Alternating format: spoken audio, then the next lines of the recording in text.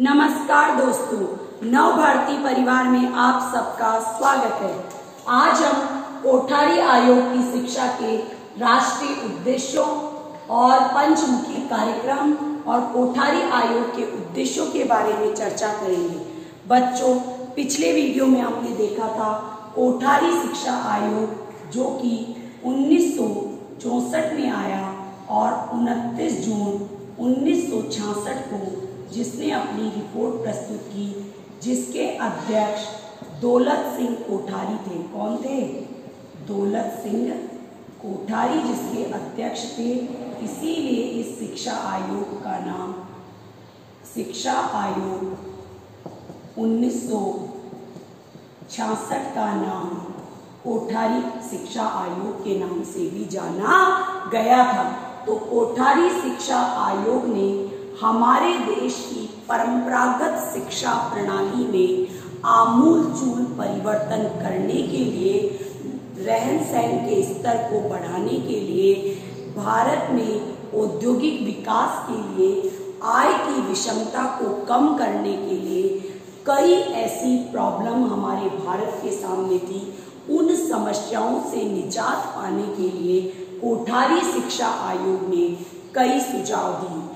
कोठारी शिक्षा आयोग के पंचमुखी कार्यक्रम है और इसी पंचमुखी कार्यक्रम के कारण कोठारी आयोग को शिक्षा का विश्व कोश भी कहा जाता है। किसको?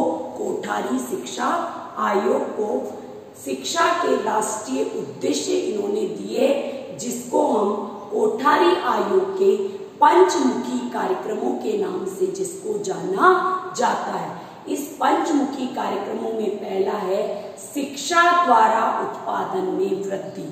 शिक्षा द्वारा उत्पादन में वृद्धि का मतलब यहाँ पर बच्चों ये है कि परंपरागत शिक्षा प्रणाली कुछ लोगों तक ही सीमित थी, लेकिन कोठारी शिक्षा आयोग का प्रमुख लक्ष्य ये था कि शिक्षा को आम आदमी तक पहुंचाना, सभी बालकों को शिक्षा उपलब्ध करवाना, ताकि उत्पादन में क्या हो सके, वृद्धि हो सके, लोगों का विकास हो सके, बालक का सर्वांगीण विकास हो सके।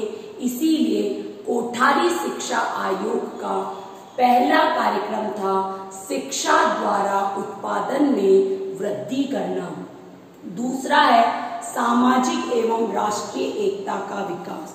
आप सब जानते हो, उस समय हमारे देश में उत्तर भारत व दक्षिणी भारत व कई राज्य ऐसे थे जहाँ पर क्षेत्रीय भाषाओं का प्रभुत्व लगातार बढ़ता जा रहा था और क्षेत्रीय विभिन्नता ने क्षेत्रवाद की समस्या को पैदा कर दिया था।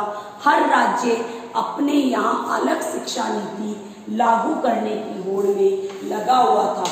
तो एक ऐसी शिक्षा पद्धति कोठारी आयोग देना चाहता था, जिससे सामाजिक और राष्ट्रीय एकता का क्या हो सके? विकास हो सके। और इसी राष्ट्रीय एकता का विकास करने के लिए कोठारी शिक्षा आयोग ने समान शिक्षा प्रणाली लागू की। Ten plus two plus three की व्यवस्था समस्त भारत में लागू की ताकि राष्ट्रीय एकता का विकास हो सके।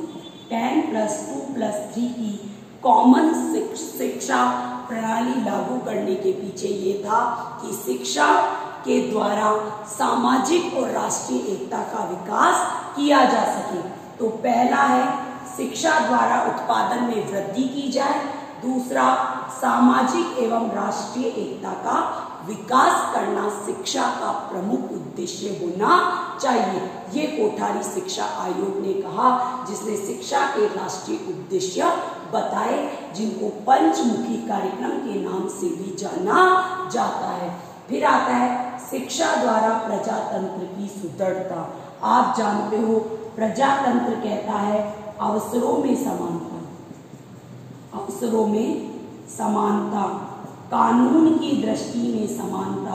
और तो ये शिक्षा द्वारा ही प्राप्त किया जा सकता है। अगर हम बच्चे को शैक्षिक अवसर प्रदान करेंगे जो पिछड़े हुए आदिवासी इलाकों से अगर बच्चे आए हुए हैं, उनके शिक्षण शुल्क में कमी करेंगे। जो बच्चा उच्च शिक्षा प्राप्त करना चाहता है, उनके लिए छात्रवृत्ति योजना प्रारंभ करेंगे पाठ्य पुस्तकें उपलब्ध करवाएँगे। उच्च स्तर पर विश्वविद्यालयों में पुस्तक बैंकों की स्थापना होगी। तो क्या होगा? शिक्षा द्वारा प्रजातंत्र की सुदृढ़ता होगी। बच्चा अगर शिक्षित होगा, वो जागरूक होगा, राजनीतिक चेतना उसमें विकसित होगी। राजनीति में भागीदारी लेने लग जाएगा। अच्छा और बुरे के बीच में डिफरेंस करने लग जाएगा। आम आदमी जब शिक्षित होगा, जागरूक होगा तो हमारे प्रजातंत्र में जो प्रतिनिधि चुने जाएँगे, वो भी अच्छे लोग आएँगे, शिक्षित होंगे और प्रजातंत्र को सुदृढ़ता प्रदान करेंगे। फिर है शिक्षा द्वारा आधुनिकीकरण की प्रक्रिया में तेज़ी। आप सबको पता है कि कोठारी शिक्षा आयोग ने विज्ञान व गणित की शिक्षा पर ज़ोर दिया और कहा कि स्कूली स्तर से ही इन विषयों की शिक्षा बच्चों को उपलब्ध करवाई जानी चाहिए। विज्ञान और गणित की शिक्षा पर सबसे ज़्यादा ज़ोर दिया अनुसंधानों पर कि विश्वविद्यालय स्तर पर अनुसंधान कार्य करवाए जाने चाहिए। और बच्चे जो कि विदेश में अध्ययन करना चाहते हैं, उनको विदेशों में अध्ययन कराने के लिए छात्रवृत्तियाँ प्रदान करनी चाहिए। क्योंकि अगर हम ऐसा करेंगे तो हमारे देश का औद्योगिक विकास होगा, वो आधुनिकीकरण होगा। हमारा देश आधुनिक करने के लिए वैज्ञानिक अनुसंधान करने पड़ेंगे और वैज्ञानिक अनुसंधान करने के लिए विज्ञान के प्रति बच्चों की रुचि का होना बहुत ही आवश्यक है। ठीक है? फिर आता है शिक्षा द्वारा सामाजिक, नैतिक, आध्यात्मिक मूल्यों का विकास करके चरित्र निर्माण करना। कोठारी शिक्षा आयोग ने कहा कि शिक्षा में मूल्यों की शिक्षा दी जानी चाहिए, आध्यात्मिकता की शिक्षा दी जानी चाहिए, नैतिकता की शिक्षा दी जानी चाहिए, सामाजिक शिक्षा दी जानी चाहिए। ताकि बालक का चरित्र निर्माण हो। क्योंकि जब बच्चे का चरित्र निर्माण होगा, तब वो, वही बच्चा देश विकास में अपना योगदान कर सकता है, राष्ट्रीय एकता का विकास कर सकता है, प्रजातंत्र को सुदृढ़ कर सकता है। तो ये पाँच मुखी कार्यक्रम कोठारी आयोग ने दिए। पहला, शिक्षा द्वारा उत्पादन में वृद्धि। दूसरा, शिक्षा द्वारा सामाजिक एवं राष्ट्रीय एकता का विकास। तीसरा, शिक्षा द्वारा प्रजातंत्र की सुदृढ़ता। चौथा, शिक्षा द्वारा आधुनिकीकरण की प्रक्रिया में तेज़ी। और पांचवा, शिक्षा द्वारा सामाजिक, नैतिक आध्यात्मिक मूल्यों का विकास करके, चरित्र का निर्माण करना, ये ही कोठारी शिक्षा आयोग के पंचमुखी कार्यक्रम थे। अब कोठारी शिक्षा आयोग के उद्देश्य क्या थे? कि कोठारी शिक्षा आयोग क्या चाहता था कि हमारा देश कैसा हो? तो कोठारी शिक्षा आयोग का कहना था कि हमारे देश में एक राष्ट्रीय शिक्षा प्रणाली का विकास होना चाहिए, और इसी के लिए उसने टेन प्लस टू प्लस और इसी राष्ट्रीय शिक्षा प्रणाली का निर्माण करने के लिए कहा कि प्री प्राइमरी स्तर पर प्री प्राइमरी तीन से छह साल का होना चाहिए और प्राथमिक जो है वो छह से बारह साल तक प्राथमिक शिक्षा बच्चे को मिलनी चाहिए। तो प्री प्राइमरी प्राइमरी जो आप प्रथम क्लास में बच्चा जब एडमिशन लेगा तो छठी क्लास छह वर्ष का पूर्ण होने पर ही उसको प्रथम कक्षा में एडमिशन मिलना चाहिए। ये कोठारी शिक्षा आयोग के परामर्श थे। कोठारी शिक्षा आयोग ने ही कहा था। क्या कहा था? कि हमारे देश में प्राइमरी स्कूल के जो बच्चे हैं, उनको मातृभाषा में शिक्षा उपलब्ध करवाई जानी चाहिए। और जो माध्यमिक स्तर के बच्चे हैं, उनको स्थानीय भाषा में शिक्षा उपलब्ध करवानी चाहिए और विश्वविद्यालय स्तर पर हिंदी और अंग्रेज़ी शिक्षा के माध्यम से बालक को अध्ययन करवाया जाना चाहिए। ये कोठारी शिक्षा आयोग ने कहा। कोठारी शिक्षा आयोग कह रहा है कि नवीन आवश्यकताओं को ध्यान में रखते हुए आप जानते हैं कि परंपरागत शिक्षा प्रणाली डिग्रीधारी होने के बावजूद भी रोज़गार नहीं दे पा रही थी, व्यवसाय नहीं दे पा रही थी, लोगों की विषमता को कम नहीं कर पा रही थी, लोगों की आकांक्षाओं को पूरा नहीं कर पा रही थी।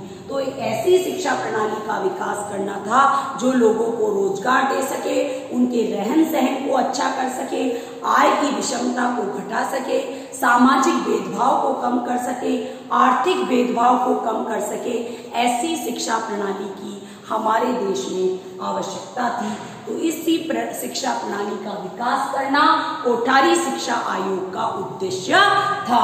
उसके बाद आता है धर्म निरपेक्ष जनतंत्र की स्थापना।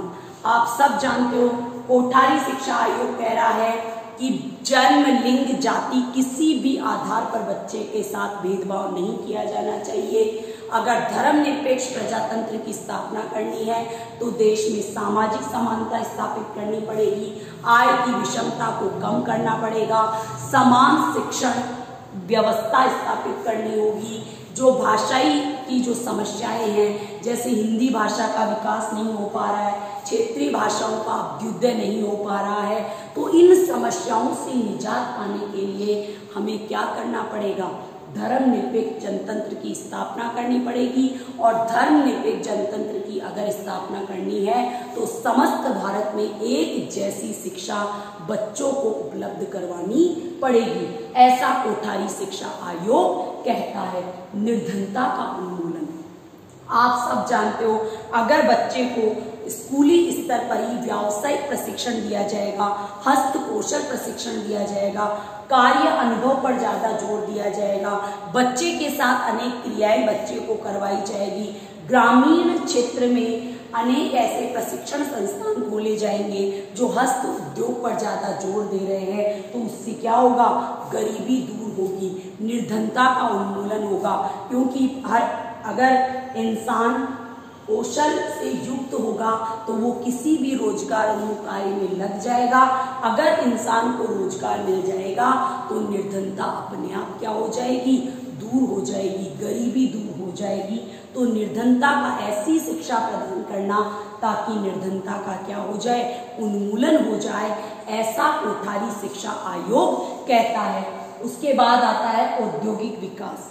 देखो बच्चों, देश का औद्योगिक विकास तभी होगा जब व्यावसायिक शिक्षा दी जाएगी, इंजीनियरिंग बच्चे को शिक्षा दी जाएगी प्राविधिकी क्षेत्र में बच्चों को देखे जाएँगे। स्कूली स्तर पर ही विज्ञान की शिक्षा दी जाएगी। विश्वविद्यालय स्तर पर अनेक शोध कार्य किए जाएँगे। तो क्या होगा? देश का औद्योगिक विकास होगा। तो देश का औद्योगिक विकास करना है। तो ऐसी शिक्षा प्रणाली अपनानी होगी ताकि देश का मशीनीकरण हो, आधुनिकीकरण हो।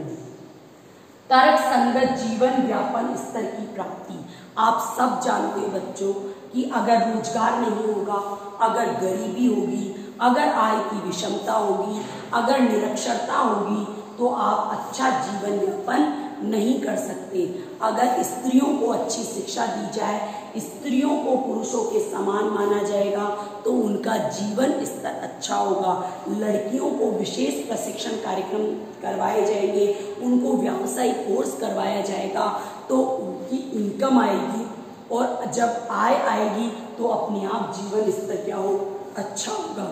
इसीलिए कोठारी शिक्षा आयोग ने कहा कि अगर जीवन स्तर को सुधारना है तो शिक्षा के क्षेत्र में व्यावसायिक शिक्षा पर ज़ोर देना पड़ेगा। विज्ञान व औद्योगिक विस्तार पर ज़ोर। देखो, कोठारी शिक्षा आयोग ने साफ़ कहा है कि आपको शिक्षा के क्षेत्र में शिक्षण सामग्री पाठ्य पुस्तकों पुस्तक ग्रहों छात्रवतियों, इन सब की सुविधा उपलब्ध करवाई जाए।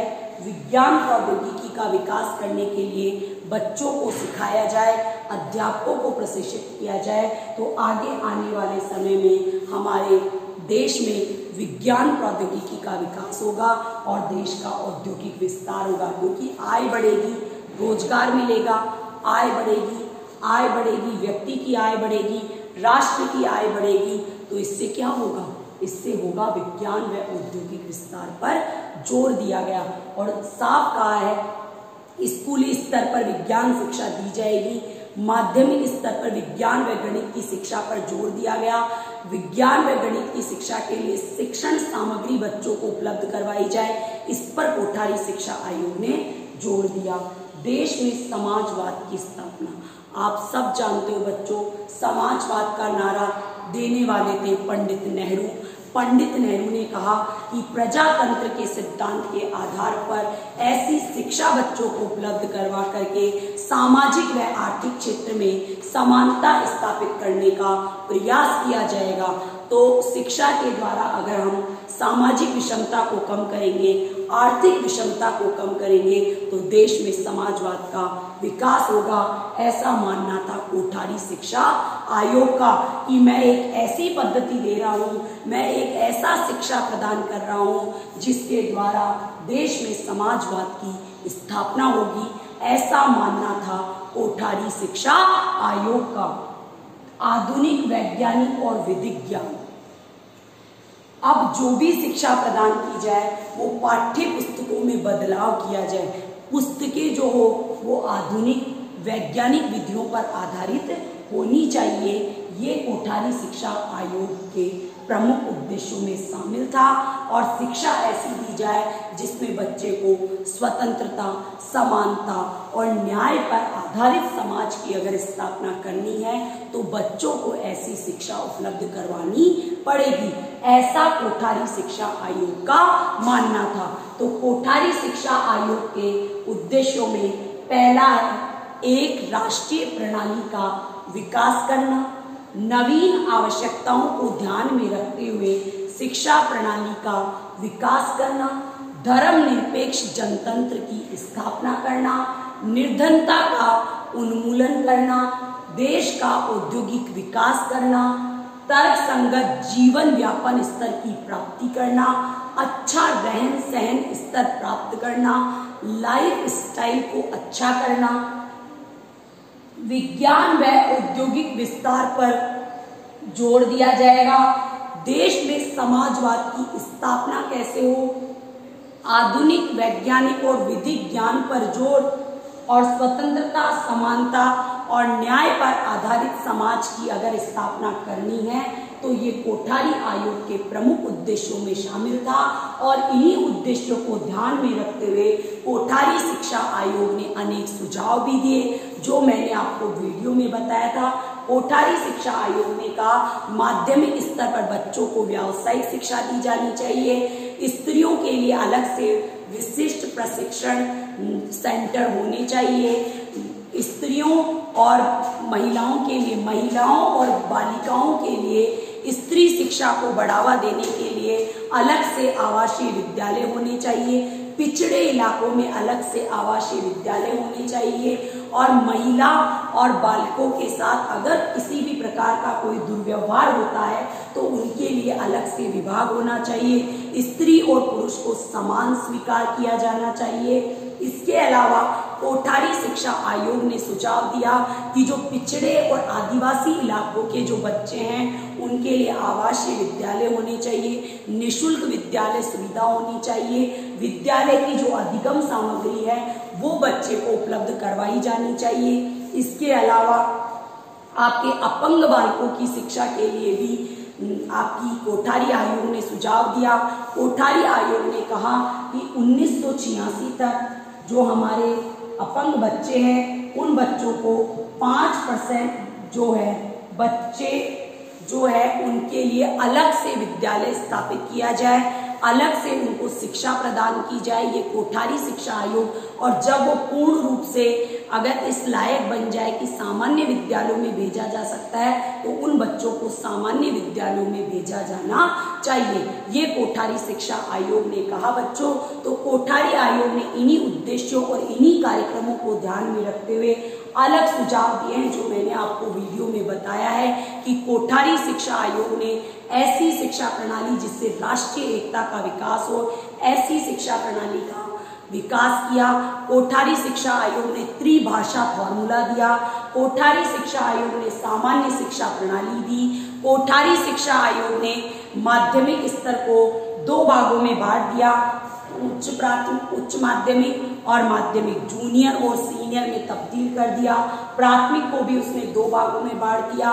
पूर्व प्राथमिक और उच्च प्राथमिक विद्यालय छह से आठ तक उच्च प्राथमिक होंगे और प्राथमिक एक से पाँच तक के जो विद्यालय होंगे, वो प्राथमिक विद्यालयों की श्रेणी में आएँगे। ये सब कोठारी आयोग के प्रमुख सुझाव थे बच्चों।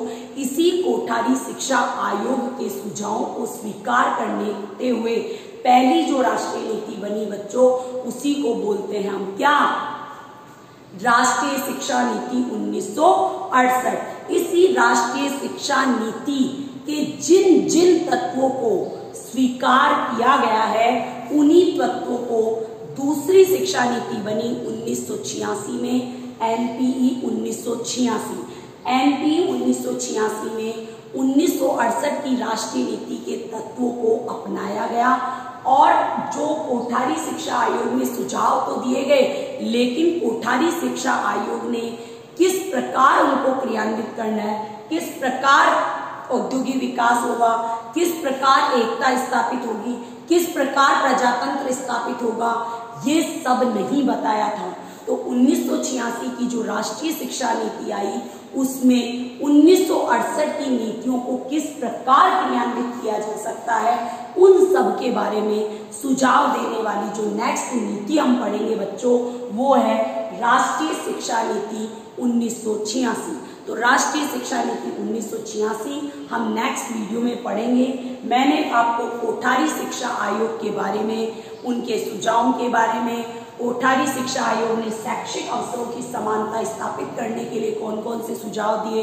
राष्ट्रीय एकता, जैसे कि कोठारी शिक्षा आयोग ने ये सुझाव दिया था कि केंद्र सरकार को अपने बजट का 6 परसेंट जो है शिक्षा पर खर्च करना चाहिए।